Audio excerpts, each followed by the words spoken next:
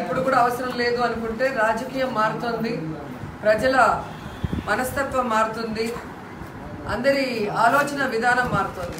So దానికి తగ్గట్టు మనం కూడా ముందుకు వెళ్ళాల్సిన అవసరం ఉంది. సో గ్రామ స్థాయి నుంచి రాష్ట్ర స్థాయి వరకు క్యాడర్ పటిష్ట పటిష్టంగా ఉంటేనే జగన్ గారి మీద రాజశేఖర రెడ్డి గారి మీద అభిమానం ఉన్న అభిమానుల్ని మనం ఓటర్లుగా మార్చుకోగలం. గత ఎన్నికల్లో మనం ఫెయిల్యూర్ అయింది అక్కడే. అభిమానం ఉన్న వాళ్ళని కూడా మనం ఓటర్లుగా మార్చుకోలేకపోయాం. తెలుగుదేశం పార్టీ చెప్పే అబద్ధాలని ఇది అబద్ధం అని చెప్పి మన వాళ్ళకి మనం చెప్పలేని పరిస్థితి. అందుకే ఇప్పుడు ఈ బూత్ కమిటీలు అనేది చాలా ముఖ్యం. ఏదో మనం ఆఫీసులో కూర్చొని ఒక పది పేర్లు రాసి ఇచ్చేస్తే దానివల్ల ఉపయోగం ఉండదు.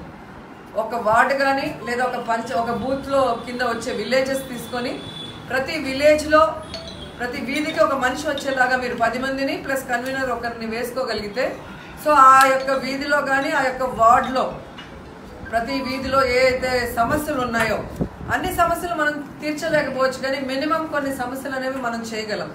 సో ఇక్కడ మున్సిపాలిటీలో అయితే చైర్మన్ దృష్టికి తీసుకురావచ్చు లేదా రూరల్ ఇవన్నీ అయితే ఎమ్మెల్యే దృష్టికి కూడా తీసుకురావచ్చు. సో ఇమీడియట్గా అంటే ఎప్పుడు అందుబాటులో చైర్మన్ గారు ఉంటారు నగిరిలో. సో నేను ఎప్పుడు వస్తానో ఆ టయానికి మీరు నాకు చెప్పినా నేను కూడా మాట్లాడి చేయించేదానికి అవకాశం ఉంటుంది. అంతేగాని మీరు ఎప్పుడొచ్చినా కూడా పెళ్ళిళ్ళ గురించో చావుల గురించో లేదా మీ పిల్లల గురించో అడగటమే తప్ప మీ గ్రామాల్లో సమస్యలు అనేది చాలా తక్కువ మంది అడుగుతున్నారు. సో అందువల్ల మనం గ్రామం సమస్యలు తెలుసుకోలేకపోతున్నాం. వాటిని పరిష్కరించాలి అంటే అవి తెలిసినప్పుడే మనం పరిష్కరించే అవకాశం ఉంటుంది.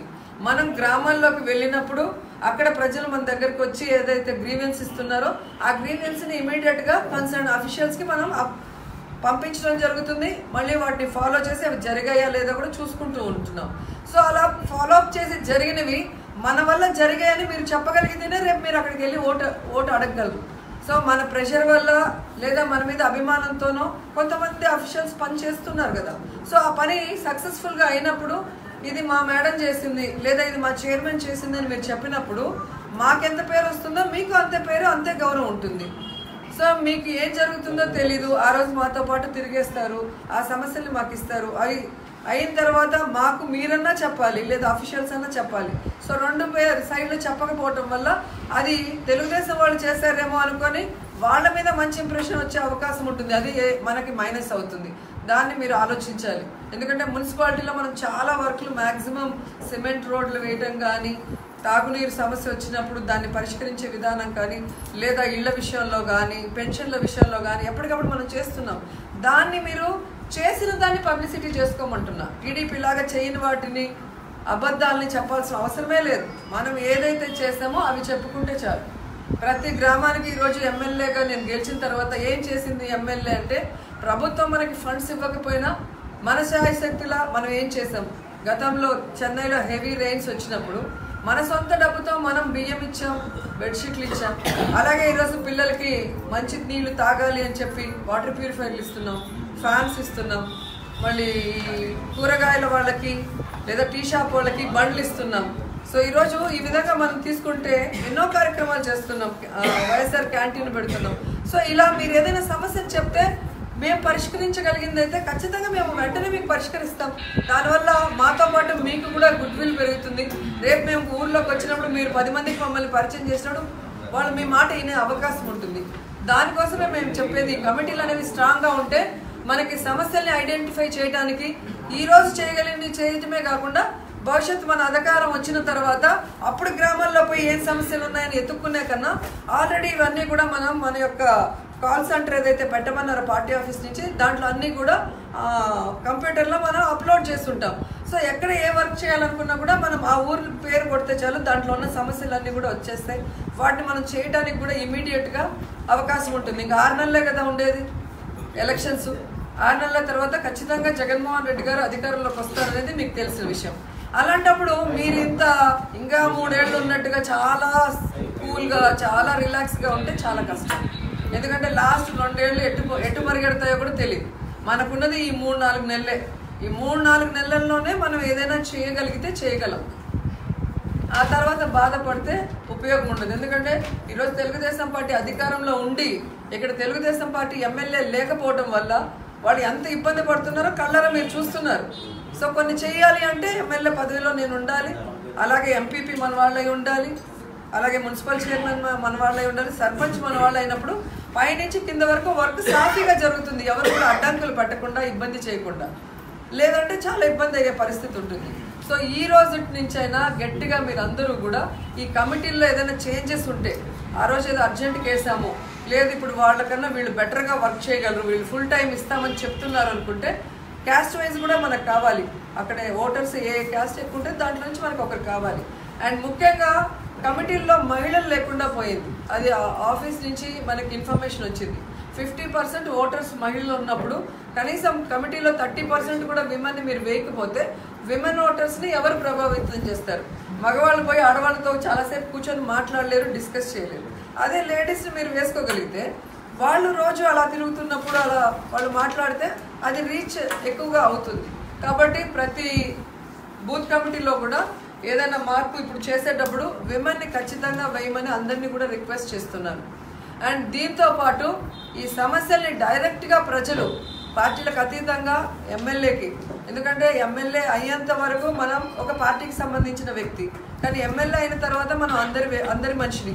సో నేను నియోజకవర్గ అభివృద్ధిని ఆకాంక్షిస్తూ ఎవరైతే నన్ను అప్రోచ్ కాలేక ఎదురుగా నేరుగా మన ఆఫీస్కి రాలేని వాళ్ళు మై ఎమ్మెల్యే యాప్ ద్వారా నన్ను రీచ్ కావచ్చు. సో వారి యొక్క వార్డు కానీ వారి యొక్క పంచాయతీలో సమస్యల్ని నాతో షేర్ చేసుకోవచ్చు.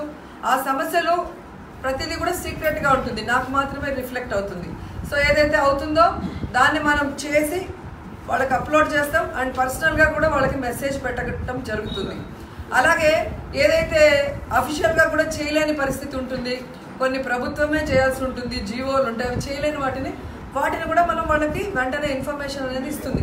ఏ గ్రీవియన్స్ వచ్చినా కూడా దాన్ని ఎన్ని రోజుల్లో చేయగలం చేయగలమా లేదా అని ప్రతి దానికి కూడా వారికి ఆన్సర్ అనేది వస్తుంది. ఎమ్మెల్యే వాళ్ళకి రెస్పాండ్ అవుతుంది. సో అది కూడా చాలా ప్లస్ పాయింట్ ఉంటుంది. ఎందుకంటే మీరు హరీశ్వరరావు గారిని చూస్తే ఆయనని ఇన్స్పిరేషన్గా తీసుకోవాలి. సో ఏ మనిషి ఫోన్ చేసినా ఏ మనిషి తన దగ్గరకు వచ్చి ఒక పని చెప్తే సిన్సియర్గా దాన్ని ట్రై చేస్తారు. జరుగుతుందా జరగదా సెకండరీ కనీసం వచ్చిన మనిషికి మనం గౌరవించి మనం ఆయన యొక్క బాధ ఏంటి సమస్య ఏంటి మనం విని కన్సర్న్ అఫీషియల్కి మనం ఫోన్ చేసి దాన్ని కనుక ఫాలోఅప్ చేయగలిగితే ప్రతి మనిషి కూడా మనని ఖచ్చితంగా ఇష్టపడతాడు మనమే రావాలని కూడా కోరుకుంటాడు. సో అలాగా నేనే కాకుండా మీరు గ్రామాల్లో ఈ బూత్ కమిటీ ద్వారా మీరు వర్క్ చేయాలి మై ఎమ్మెల్యే యాప్ ద్వారా నాకు వచ్చినవి కూడా మీతో కన్సల్ట్ చేసి ఆ గ్రామాల్లో ఇలా వచ్చింది ఇది కరెక్టా కాదని నేను మిమ్మల్ని కనుక్కొని దాని ప్రకారం మీ ద్వారానే చేయిస్తాను. డైరెక్ట్గా నేను చేసి మిమ్మల్ని పక్కకు తోసేయాలని కాదు. సో మీరు కూడా చెప్పని సమస్యలు కొన్ని ఉంటాయి. మీకు కూడా ఎవరు చెప్పకపోవచ్చు. సో నాకు చెప్పాలనుకున్నా నేను మీతో డిస్కస్ చేసి మీ ద్వారానే దాన్ని పరిష్కరించే విధానం ఉంటుంది. ఆ బోర్డు ఒకసారి. సో మై ఎమ్మెల్యే యాప్ని ఎలా డౌన్లోడ్ చేసుకోవాలి మీ అందరికీ కూడా ఇప్పుడు చెప్తాను. సో ఈరోజు అఫిషియల్గా మనం లాంచ్ చేయబోతున్నాం. ఎందుకంటే ఆల్రెడీ మనం నా బర్త్డే రోజు మిథునన్నతో లాంచ్ చేసినప్పుడు ట్వంటీ డేస్ మనకు టైం కావాలి. ఆన్ ఎయిర్ ఇది వస్తుంది. వచ్చిన తర్వాత ప్లే స్టోర్లో పెట్టిన తర్వాత సో దాన్ని ఎలా డౌన్లోడ్ చేసుకోవాలి ఎలా దాన్ని ఆపరేట్ చేయాలి అనేది కూడా చెప్తాము సో ఈ విధంగా ఉంటుంది. లేదు. సో ఈ విధంగా ఉంటుంది. దీంట్లో నా ప్రొఫైల్ నా పేరు నా కుటుంబం సో నేను ఏం చదువుకున్నాను నా గురించి ఉంటుంది. సో అలాగే రిజిస్టర్ గ్రీవియన్స్. మీరు మీ గ్రామాల్లో ఉన్న గ్రీవియన్స్ ఏదైనా రిజిస్టర్ చేయాలి అంటే దీని ద్వారా మీరు అది చేయాల్సి ఉంటుంది. అండ్ గ్యాలరీలో నేను ఇప్పటి వరకు చేసిన వర్క్స్ అన్నీ ఉంటాయి. మేడం ఏం చేసిందని ఎవరన్నా అడిగితే మై ఎమ్మెల్యే యాప్ చూడండి.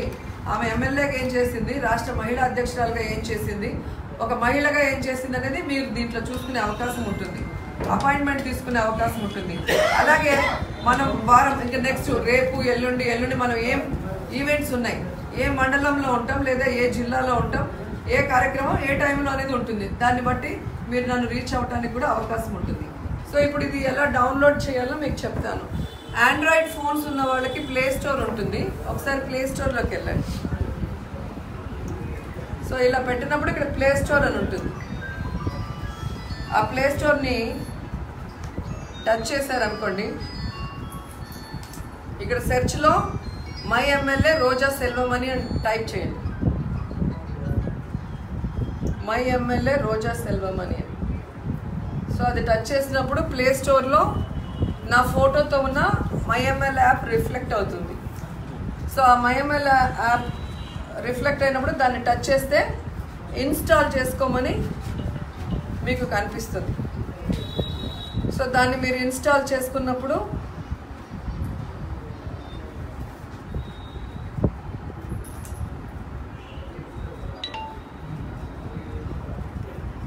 అది మీ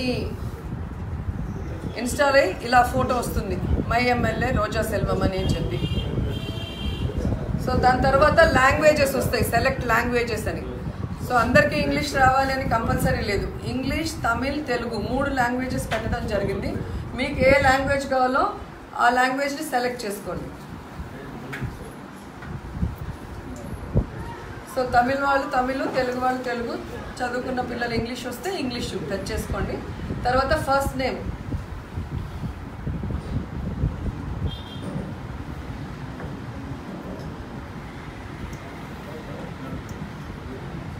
సో మీ ఫస్ట్ నేము లాస్ట్ నేము. మీరు కొట్టిన తర్వాత ఇక్కడ గెస్ట్ లాగిన్ అని ఉంటుంది. సో గెస్ట్ లాగిన్లోకి వెళ్తే కేవలం మీరు నా యొక్క గ్యాలరీలో నేను చేసిన వర్క్ని చూడొచ్చు. అలాగే అప్కమింగ్ ఈవెంట్స్ చూడొచ్చు కానీ మీ యొక్క సమస్యను నాకు తెలియపరిచే అవకాశం ఉండదు. మీ సమస్యను మీరు తెలియపరచాలి అంటే ఖచ్చితంగా సైనప్లోకి వెళ్ళాలి. సైనప్లోకి వెళ్ళినప్పుడు మళ్ళీ మీ ఫస్ట్ నేమ్ లాస్ట్ నేము మీ అడ్రస్ విలేజ్ ఆ టౌన్లో ఉంటే టౌను తర్వాత పాస్వర్డ్ ఆ పాస్వర్డ్ని మళ్ళీ ఒకసారి కన్ఫర్మ్ చేసుకోవాలి. కన్ఫర్మ్ చేసుకొని మీ ఫోన్ నెంబరు మీ వార్డ్ నెంబర్ కొట్టాలి. కొట్టినప్పుడు మీ ఫోన్కి మీరు ఏ ఫోన్ నెంబర్తో అయితే కొడతారో ఆ ఫోన్ నెంబర్కి ఓటీపీ నెంబర్ వస్తుంది. మీకు తెలుసు కదా ఓటీపీ నెంబర్ ఎలా వస్తుందో? సార్ ఓటీపీ నెంబర్ వచ్చిన తర్వాత ఎందుకంటే ఇది నేను మహిళ కాబట్టి ఎవరు పడితే వాళ్ళు లాగిన్ అయిపోయేసి ఏదంటే అది చెత్త మాట్లాడేసి సంబంధం లేని ఇష్యూస్ అన్ని పెడితే మనకి ఇబ్బంది అవుతుంది. సో ఈ ఇది ఇప్పుడు ఏదైతే మనము ఈ ఓటీపీ వచ్చే విధంగా ఈ విధంగా సైన్అప్ కనుక చేయగలిగితే నిజమైన నగిరి అభివృద్ధి కోరుకునే వాళ్ళు నిజంగా వాళ్ళు సమస్యను తీర్చుకోవాలనుకున్న వాళ్ళే లాగిన్ అవుతారు. ఎందుకంటే లాగిన్ అయ్యి ఓటీపీ నెంబర్ రావాలి అంటే మీ ఆధార్ కార్డు మీ ఫోన్ నెంబరు ఇవన్నీ కూడా వచ్చేస్తాయి. ఈ ఫోన్ నెంబర్ కొట్టినప్పుడు ఆధార్ కార్డు లింకేజ్ కాబట్టి అవన్నీ వచ్చేస్తాయి కాబట్టి అతను మనతో మిస్బిహేవ్ చేసే అవకాశం ఉండదు. సో తప్పుడు సమస్యని మనకి పోస్ట్ చేసి మనని అవమానించడమో ఇబ్బంది పెట్టే అవకాశం ఉండదు.